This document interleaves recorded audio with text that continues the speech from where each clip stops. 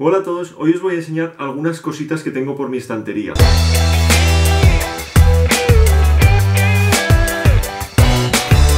Bienvenidos a un nuevo vídeo de la Coa de Charles, yo soy Carlos Carranza y en el vídeo de hoy os voy a enseñar 5 cosas de mi estantería que no son libros. Esta idea fue una idea de Duli, del cuarto de Duli, y me nominó a hacerlo y la verdad es que su vídeo me encantó porque enseñó bastantes cosas muy bonitas y las historias que contó detrás de ellas pues también me gustaron mucho y me pareció un vídeo muy interesante, la verdad como todos los que hace ella en su canal porque es uno de mis canales favoritos. Y bueno, como os decía os voy a enseñar 5 cosas de mi estantería y me he puesto hoy aquí para que podáis ver mi estantería, porque normalmente solo podéis ver ese trozo, pero hoy la podéis ver más o menos toda para que veáis que no solo hay libros. Y allá vamos con esas cinco cosas. Lo primero que os quería enseñar es este Funko de Harry Potter, es el único Funko que tengo y la verdad es que yo no era muy fan de los Funkos, pero en cuanto tuve este y en cuanto lo vi es que me encantó. Y me encanta porque es que está lleno de detalles, es que es una preciosidad, la verdad. También le tengo mucho cariño porque fue un regalo de uno de mis mejores amigos para mi cumpleaños del año pasado. Y bueno, es un amigo al que no veo tanto como me gustaría ver al que conocí en la universidad y bueno, pasamos cinco años en los que éramos inseparables, hasta nos fuimos de Erasmus juntos y por eso lo guardo con mucho cariño en mi estante de libros de Harry Potter.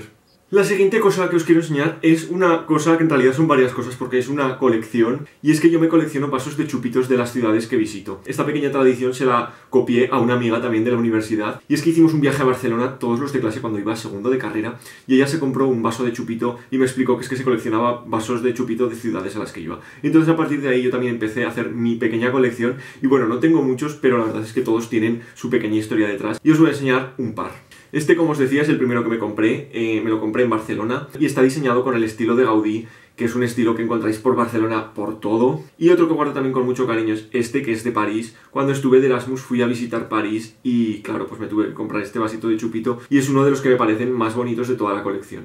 La siguiente cosa que os quiero enseñar es también un regalo al que te tengo mucho cariño y lo tengo por dos cosas, como el Funko de Harry Potter, porque le tengo mucho cariño y porque me encanta. Se trata de esta figura de un soldado clon de Star Wars y esto también tiene su historia porque me lo regaló una amiga que hice cuando estaba de Erasmus. En el piso de arriba de mi residencia vivía una chica italiana y que me hice súper amigo de ella. La verdad es que era una chica súper agradable con la que hablaba prácticamente todos los días y bueno, terminó siendo una muy buena amiga. Y es que era una chica muy cookie porque siempre que estabas un poco mal o siempre que necesitabas, pues yo qué sé, hablar con alguien o que estabas un poco más triste, ella tenía un, un bol lleno de chocolatinas, de bombones de, chocolate. Y siempre podías ir a su habitación y pedirle algo de chocolate, o si ella veía que estabas un poco mal, se presentaba en tu habitación con una chocolatina. A mí me recordaba un poco a cuando en Harry Potter toman chocolate después de que les ataquen los dementores. Y bueno, como os decía, ella era de Italia y en uno de sus viajes a Italia fue a un Burger King y le dieron esto como regalo. Y cuando volvió, vino y me lo regaló. Y desde entonces, ya hace ya 5 años, lo he tenido en alguna parte de mi estantería.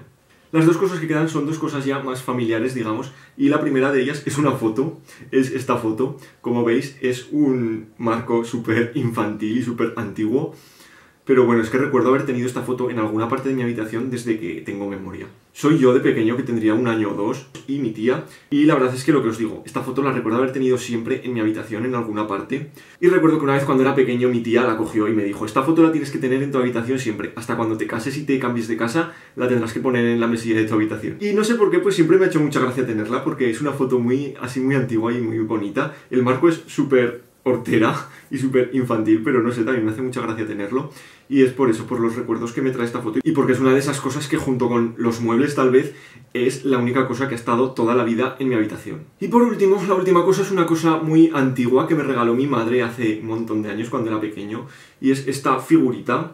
Es un tuno y se lo regalaron a ella cuando era pequeña, cuando cumplió nueve años porque estaba en una especie de campamento en Canfrán y una de las monitoras le dio esto como regalo. Y cuando yo era pequeño mi madre me lo dio a mí y me dijo que lo guardara, que no lo perdiera nunca porque le tenía mucho cariño. Y pues desde entonces yo lo he tenido en mi estantería y es una de esas cosas que siempre voy a guardar y que si algún día la pierdo o se me rompe, no es que me muera yo, es que viene mi madre y me mata. Y ya está, estas son las 5 cositas que os quería enseñar que hay por mis estanterías y que no son libros. Y nada más, espero que os haya gustado muchísimo. Voy a nominar a dos personas por si quieren hacerlo. La primera de ellas va a ser Elena de Letras de Andrómeda. Y a la otra persona que voy a nominar es Julia del canal de Dostip, porque en su estantería de verdad es que hay más peluches, muñecos y cosas que libros. Es una pasada. Y nada más, esto ha sido todo por el vídeo de hoy. Espero que os haya gustado y nos vemos en el próximo vídeo de la cueva de Charles. Adiós.